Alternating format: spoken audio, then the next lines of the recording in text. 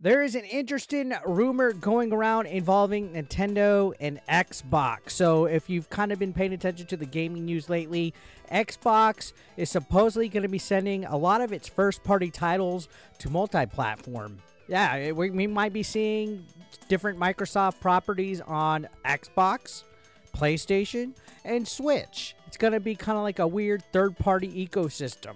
And this has kind of been the speculation in recent years, especially ever since the Activision Blizzard acquisition and ZeniMax and all that. It seems like Xbox is more focused on Game Pass as their model and also I guess, licensing out their IPs and their properties. We recently saw it with Banjo Kazooie finally coming out to the Nintendo Switch Online service, as well as GoldenEye and a few other games that we've seen come out through the radar. But now, with the Switch 2 rumors and innuendo coming out, we're starting to see a lot more gossip, a lot more juice in the gaming world. So take all this with a grain of salt. Of course, all this is being reported through quote unquote industry insiders that may or may not be reliable, but a lot of times looking at this type of stuff just kind of gets me excited. It gets me pumped up, especially because we're in the countdown for the Switch 2.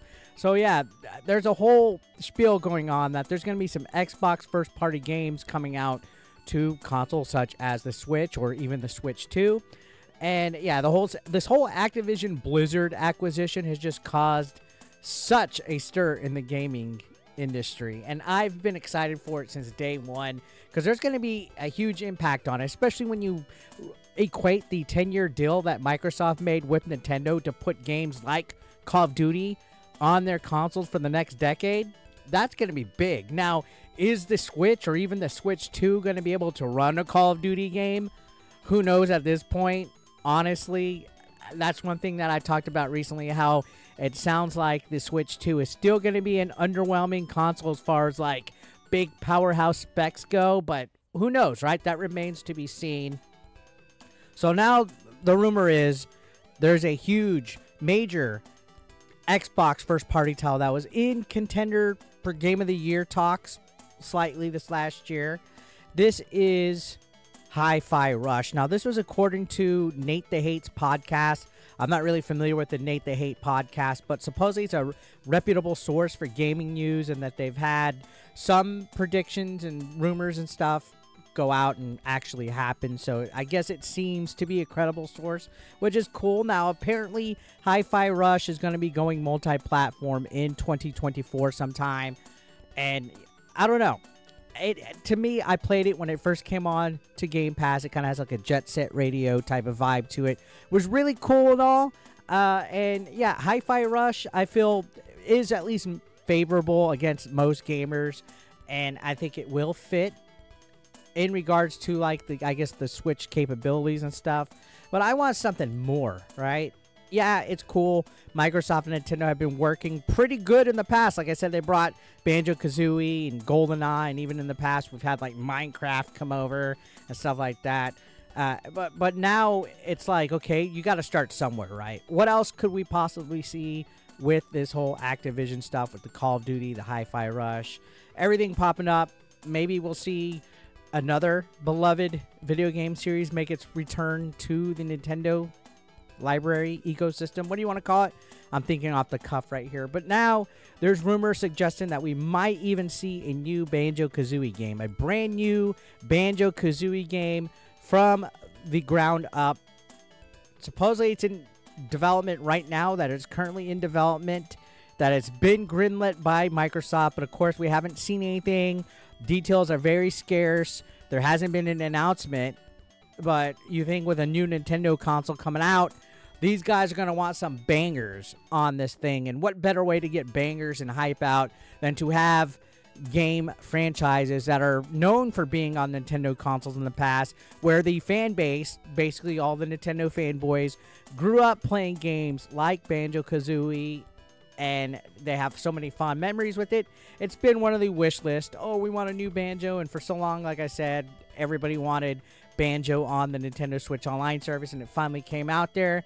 So the possibility of Banjo Kazooie could definitely happen, especially if Microsoft is going out there and actually wanting to get, I guess, their franchises and their games that are first party multi platform at this point.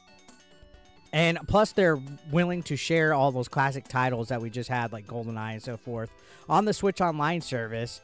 So, yeah, now, you know, when you have this huge acquisition with Blizzard and all these games, I mean, look how long the, I guess, the mitigation process and negotiations took with that. Because there's a lot of classic titles out there. In with ZeniMax. I mean, we're thinking Skyrim. We're thinking Fallout. we're thinking Call of Duty.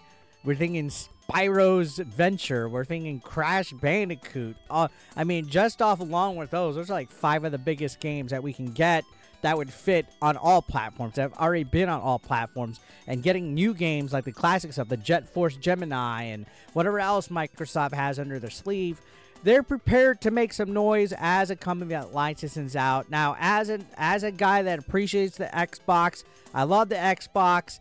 It was exciting to see them get all these studios and get all these properties and stuff. So it's like I guess their focus isn't making exclusives. That's one thing that you always hear people say like Nintendo kills it with the exclusive first party games and Sony kills it with their exclusive first party games and it always seemed like Microsoft just couldn't nail it. And they bought up all these companies, and it was curious to think, hey, are they going to, I guess, start to make their own first party games that are exclusive? No, there really was no way around it because Sony made a stink during the Activision Blizzard acquisition, and they didn't want like a monopoly and unfair, I guess, industry practices and all this stuff like that. To me, if you have the money to buy something too bad, so sad. You didn't pull your wallet out. I did. I get first right to everything. I still would find a way to use those IPs and make my own exclusive game. Like, yeah, there could be a multi platform Call of Duty, but maybe there'll be a Call of Duty game that's kind of like a spin off that's exclusive only for Microsoft or, or whatnot, right? I'd find a way to make some exclusiveness still. But it doesn't seem like that's what Microsoft wants to do with Xbox at this point. It seems like their focus is and still will be Game Pass going into the next several years. They want to have this cloud based gaming database service that people pay that gives you access to a variety of games and and I feel Game Pass is a great service. I absolutely love it. And it would be cool if one day maybe Game Pass goes to the other uh, platforms too. Could you imagine there's a, a Game Pass service on on Switch too. I think that would be pretty legit. But yeah, entering 2024, man, there's a lot of anticipation uh, with the Switch 2 leading up. Uh, that we want more powerful hardware that's focused on increased support from third party companies. And what better way to do it if Microsoft throws its hat into the whole let's put our games on multi platform? I think I think that is only going to help the industry. As much as I would want Microsoft to have its own exclusives and stuff. There's just something about certain games that Microsoft owns, like Battletoads and you know Banjo, that I feel belong back at home on the Nintendo. And, and and you know, for a while, people feel that Nintendo just doesn't get love from the third parties because often at times their consoles are also underdeveloped and underpowered we'll see what happens. I think, you know, whether Hi Fi Rush comes, Banjo Kazooie, or whatever other surprises are in store with this whole thing, I think the collaboration between Microsoft and Nintendo is going to be big especially during this next year or so when when it comes out. And you know, just think of all the gaming experiences that we're going to get out here. It's really exciting. And again, yeah, all this is speculation. All this is rumor. We don't know what's you know confirmed or not because nobody said anything. But I think it's exciting. This is an exciting time, and and I want you guys to share your thoughts down below. If you're watching this video, share your thoughts. Let me know what you think about the possibility of Microsoft putting their games out multi-platform? Do you think it's a big mistake? Do you think the whole that they're you know they can't exactly catch up to the sales of the PlayStation 5, so I guess maybe it's best if you just find a way to make money and distribute your game properties that are still valuable. They're still valuable, right? So yeah, I'd love to hear your opinions on these. Do you do you think Hi-Fi Rush will be on the Nintendo Switch. This is that rumored first party game that is going to be coming out according to Nate the Hate. And are you excited about the possibility of a brand new Banjo Kazooie game? I mean, that's kind of cool. A brand new one, not a port, not a remake. And honestly, what are your thoughts with Nintendo and Microsoft, like their collaboration or their, I guess, loose partnership going forward? You know, I, I don't know. It's Exciting times, guys, and I want to have a good conversation. Make sure you hit that like button as well. Subscribe if you haven't. Share this video to a friend. If everybody just shares one time, that boosts it out and helps out. I appreciate y'all so much. Thank you so much. I will catch you on the next video. Take care.